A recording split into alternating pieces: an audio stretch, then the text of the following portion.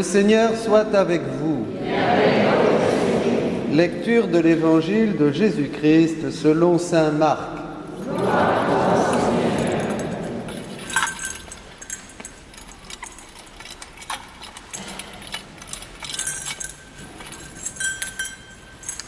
En ce temps-là, Jésus traversait la Galilée avec ses disciples. Et il ne voulait pas qu'on le sache, car il enseignait ses disciples en leur disant, le Fils de l'homme est livré aux mains des hommes, ils le tueront, et trois jours après sa mort, il ressuscitera. Mais les disciples ne comprenaient pas ces paroles et ils avaient peur de l'interroger. Ils arrivèrent à Capharnaüm et une fois à la maison, Jésus leur demanda De quoi discutiez-vous en chemin? Ils se taisaient. Car en chemin, ils avaient discuté entre eux pour savoir qui était le plus grand.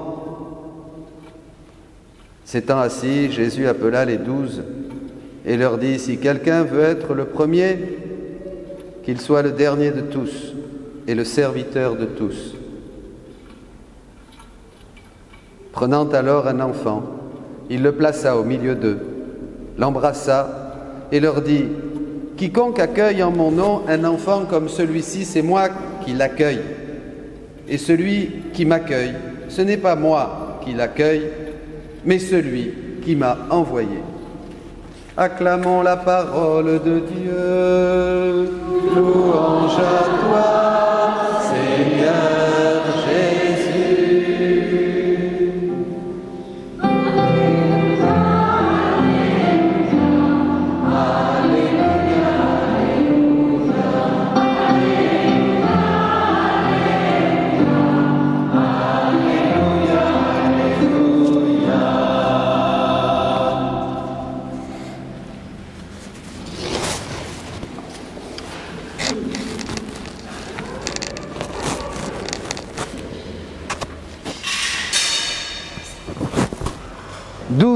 Ces discordes entre nous Nous sommes pleins de rivalité, de jalousie, de parti pris.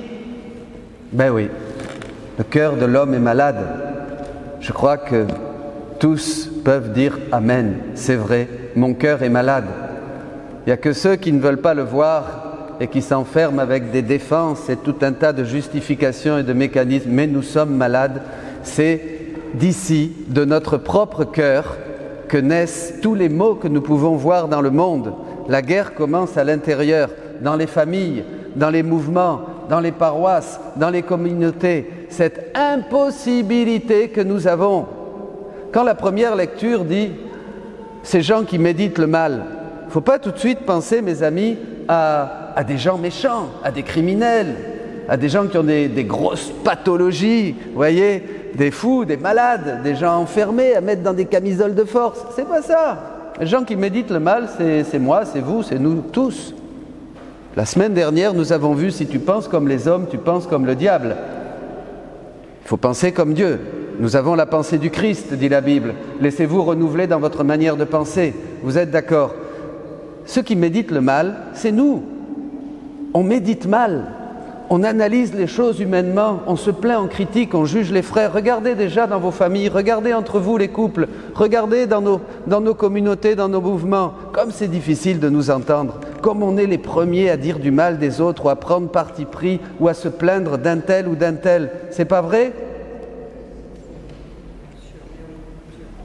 C'est vrai? Eh oui Vous savez que c'est un très grand pas de dire c'est vrai comme vous le faites. Vous avez fait un grand pas en avant. C'est la première chose que nous demande Dieu. En fait, l'autre, mon impossibilité de communiquer avec l'autre et de l'accepter dans la différence va me révéler que je suis malade. Alors que moi, justement, je dis non, moi je suis bien, c'est lui qui a tort. Non. C'est moi qui ai besoin de changer pour accueillir, accueillir l'autre. C'est pas ce qu'a fait le Christ. Lui étant Dieu, dit la Bible, il s'est fait homme, il a pris l'aspect d'un homme pour nous prendre tous dans son cœur. Vous êtes d'accord avec moi? C'est bien ce qu'a fait Dieu, non? Il s'est mis à notre niveau pour nous changer. L'autre, finalement, qui est différent, à tort ou à raison, qu'il soit soit dans le vrai, qu'il soit dans le faux. En fait, on s'en fout. Il me révèle qui je suis. C'est sûr que peut-être je vais avoir une mission de correction fraternelle. Mais attention, comme dit encore la Bible, qui suis-je moi pour juger mon frère? Il va me falloir beaucoup d'humilité pour pouvoir vraiment aller dire à mon frère, tu n'es pas dans la vérité. Et c'est un chemin de sainteté, bien sûr. Heureux les cœurs purs, ils verront Dieu. Il faut laisser Dieu nous parler à travers tout. Ça, c'est un premier point. Il faut d'abord que je demande à Dieu de purifier mon cœur, avant de vouloir d'être, de purifier le cœur des autres, avant de vouloir juger les autres. Il faut d'abord que je demande à Dieu la vérité sur moi-même. Et c'est cette vérité, comme dit Jésus, qui me rendra libre et qui fera de moi un vrai disciple du Christ. Aujourd'hui, c'est un évangile qui parle de nous.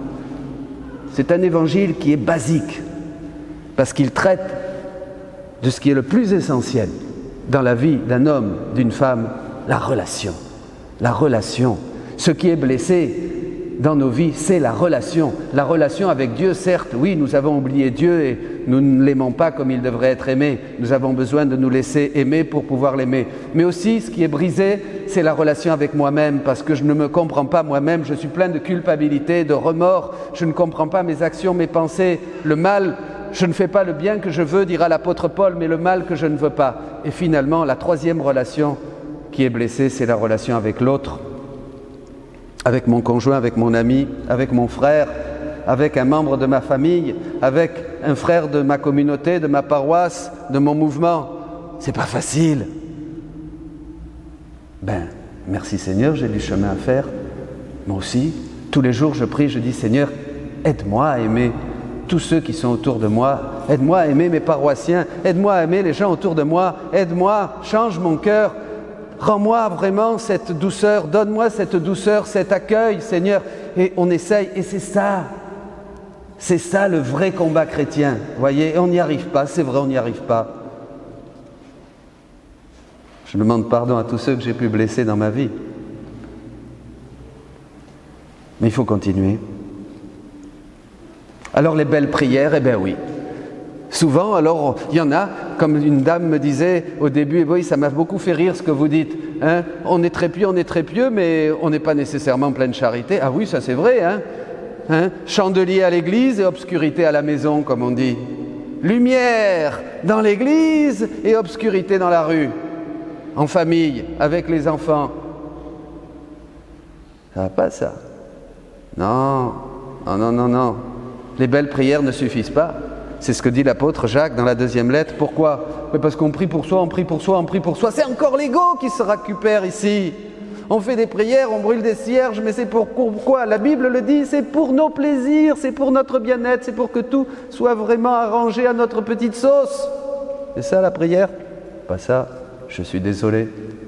C'est pas ça que Dieu nous demande. Dieu nous demande un cœur contrit, humble, un cœur qui change, un cœur qui veut vraiment la vérité.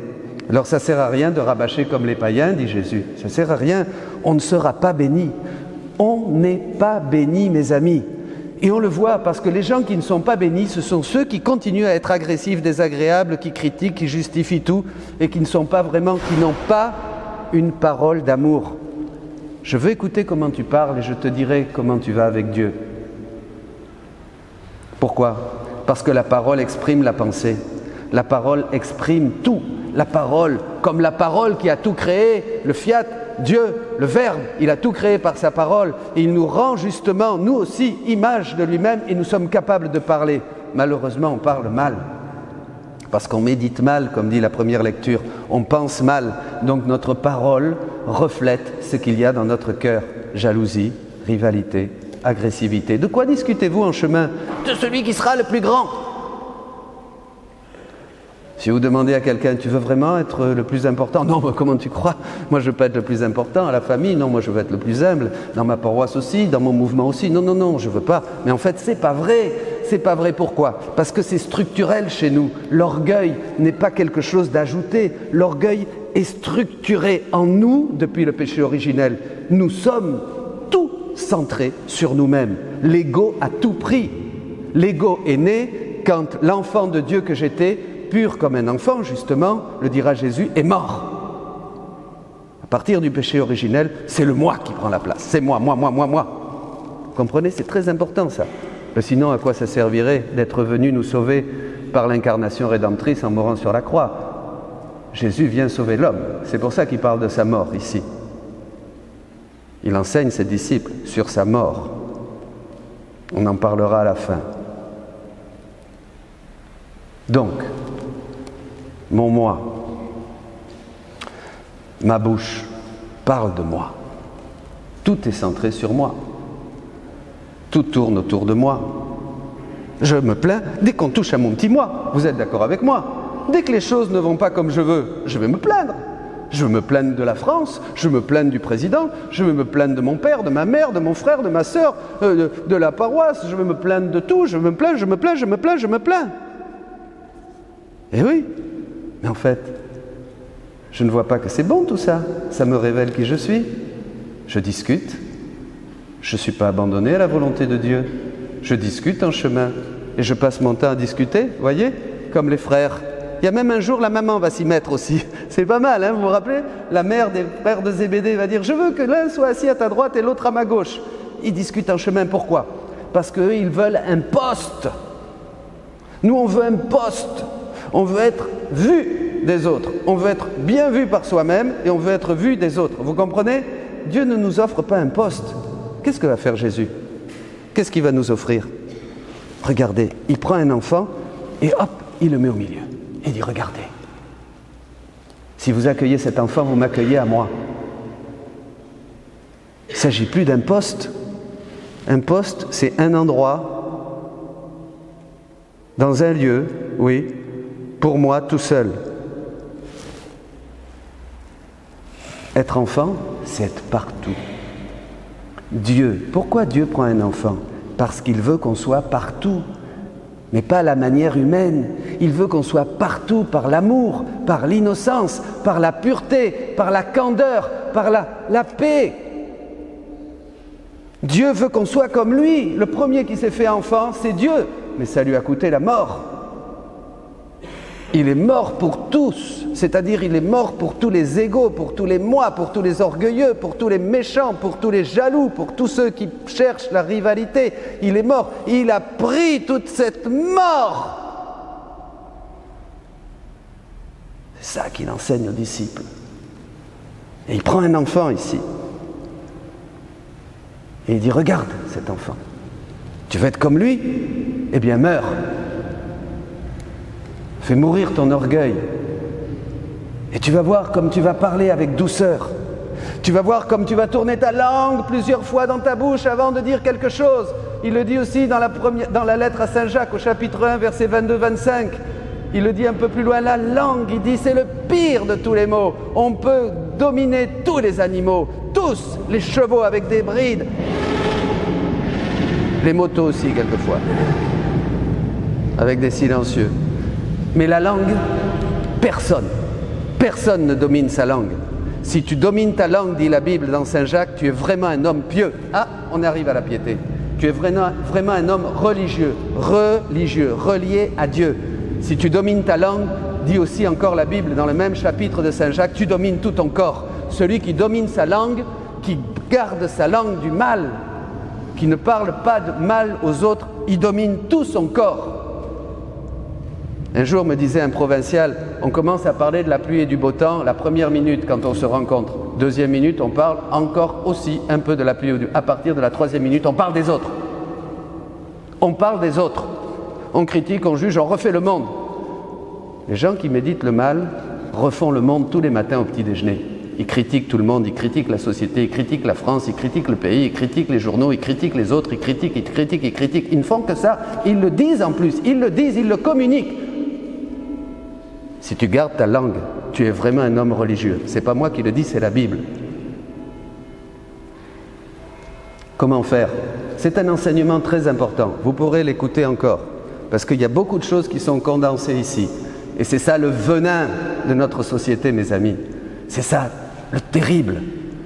Les autres, finalement, qui me dérangent, sont là pour me révéler qui je suis. C'est pas moi qui suis Dieu et qui dois les juger. Les autres qui me révèlent qui je suis disait un jour Saint Dosité. J'aime beaucoup Saint Dosité, un petit saint, fils spirituel de Saint Dorothée de Gaza, un des pères des premiers siècles, qui vivait dans les déserts. Il disait une cloche, prends une cloche. Comment tu sais le bruit que fait une cloche? Qu'est-ce qu'il faut faire? Ping Il faut la frapper. Pas vrai? Tu la frappes et là, tu entends le bruit de la cloche. Tu veux savoir si tu as vraiment la paix dans ton cœur? Tu crois que tu as la paix dans ton cœur parce que tu fais de belles prières, dit le saint. Tu fais pieux. Il y en a même qui changent de visage quand ils sont à l'église. Voyez ce que je veux dire hein? Eh bien, donne-lui un coup. Donne un coup à ton frère. Et là, tu vas voir que tout d'un coup, tout ça c'est dans un texte, vous le trouverez dans, dans la liturgie des heures, que la rage sort de ton cœur avec des paroles. Ah ben ouais, ta paix, dit le saint, c'était une fausse paix, c'était du mensonge. Comment guérit-on? Eh bien, il faut laisser l'amour de Dieu envahir ton cœur. Il faut laisser l'amour de Dieu envahir mon cœur. C'est ma relation à Dieu dans la prière, c'est la relation à Dieu dans la foi, c'est ma fréquence avec la parole de Dieu, c'est fréquenter la parole de Dieu, fréquenter l'Eucharistie, recevoir Jésus. Jésus dit à une sainte, quand tu m'as reçu dans l'Eucharistie, dis-moi, guéris-moi, je te guéris. Dis-moi, divinise-moi, je te divinise. Dis-moi, transforme-moi, je te transforme. Dis-moi tout ce que tu veux quand tu m'as reçu. Je le fais, je le fais, je le fais. Mes amis, ce chemin-là, c'est que du bonheur. Pourquoi je vous dis ça à vous tous qui écoutez? Parce que ce n'est que du bonheur. Si tu dis à Jésus de guérir ton cœur, si tu lui dis vraiment de pouvoir dominer ta langue, si tu t'empêches et te flagelles chaque fois que tu es en train de critiquer en pensée, en parole, pire encore, un frère, une sœur, si seulement tu t'abandonnes disant Seigneur, amène tout ce que tu veux, je sais que tu me transformes, donne-moi ce cœur d'enfant. Regardez l'enfant que met Jésus au milieu. Il critique un enfant? Non. Il est beau, il est pur. On lui fait du mal, il se laisse faire comme l'agneau. Comme l'agneau, il se laisse violenter, il se laisse, il laisse tout faire l'enfant, il ne résiste pas. Dieu veut que nous redevenions comme des enfants. Pourquoi? Parce que quand nous sommes sortis des mains du Créateur, nous étions purs, nous étions beaux, nous étions simples, nous étions remplis de l'amour de Dieu. Ces difficultés que je vous décris aujourd'hui, ces rivalités dont parle la deuxième lecture, ces jalousies, ces tueries même, d'où viennent-elles? Elles viennent du fait qu'on s'est séparé de Dieu.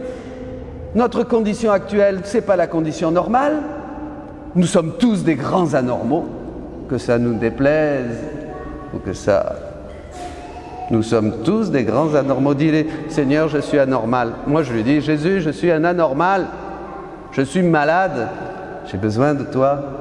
Mais j'aime bien cette maladie. Finalement, elle est douce. Elle me conduit au pied de Dieu. Elle me fait m'agenouiller devant le Christ. Elle me fait baiser ses plaies qui me guérissent, puisqu'il a dit que de ses plaies, nous recevrons la guérison. Elle nous pousse dans les bras de Jésus et de Marie. Et là, on devient des hommes et des femmes de prière. On devient vrai, on devient authentique pas des menteurs. Le père du mensonge, c'est le diable. Il faut mettre fin à la parole du diable dans nos cœurs. Il faut que la tête du serpent, que la Vierge Marie écrase, soit écrasée d'abord en moi. Demandons à Dieu d'être les derniers. Puisque Jésus a pris la dernière place. Vous êtes d'accord avec moi, non? Qui a été plus bas que, le Christ Lui qui étant Dieu ne retint pas jalousement le rang qu'il égalait à Dieu, mais il s'est anéanti, anéanti, anéanti. Il s'est vidé de sa substance divine pour prendre une condition humaine, prendre l'aspect de l'homme, dit la Bible au chapitre 2 de la lettre aux Philippiens. Et il s'est fait homme obéissant et obéissant jusqu'à la mort, et la mort sur la croix. C'est pour cela que Dieu l'a exalté et lui a donné le nom qui est au-dessus de tout nom, afin qu'au nom de Jésus, tout genou fléchisse au ciel, sur la terre et dans l'abîme. Vous voulez changer? Tu veux changer ou tu veux rester le même? Ça te fait rien ces paroles? Ça te bouge, ça t'ennuie, ça t'attriste, ça te dérange peut-être? Tant mieux. Qui veut changer? Le Christ n'est pas venu nous passer de la pommade, mes amis. On n'est pas chrétien si on ne passe pas par la mort de l'ego, par la mort sur la croix. Un jour tous, nous verrons si le chemin que nous avons pris est le bon ou le mauvais. Mais je peux dire une chose, tant que je discute dans mes pensées, tant que je critique mon frère, tant que je juge, tant que je refais le monde, à ma manière, je ne suis pas sorti de l'auberge, ça c'est sûr. On n'a que cette vie pour se décider. Jésus est venu fonder l'Église. Il est venu fonder une nouvelle famille où nous sommes tous frères et sœurs, où nous nous aimons, nous nous servons. Comme le dit Acte 2, où nous mettons tout en commun, fidèles à la prière, fidèles à l'enseignement, fidèles au partage du pain. Un seul cœur, une seule âme. Est-ce que vous voulez un monde nouveau? Est-ce que nous voulons une vraie fraternité? Est-ce que nous voulons, nous les chrétiens, être la lumière du monde et le sel de la terre pour relever notre pays? La guerre est déjà là, en nous. C'est là qu'il faut changer, là. Si on change là dans son cœur, on change là dans sa tête, on change dans sa bouche, on change dans ses gestes. Les pensées génèrent des paroles, les paroles génèrent des gestes. Le Christ est venu sauver l'homme, corps, âme et esprit. Mais il faut tout donner à Jésus. Son corps, son âme, son esprit. Eh bien, demandons à Dieu cette grâce dans la prière et que chacun prenne aujourd'hui cette prière pour lui. Seigneur, donne-moi un cœur d'enfant. Fais-moi le plus petit et le serviteur de tous. Et ainsi je serai libre, je serai heureux et je serai lumière pour les hommes. Amen.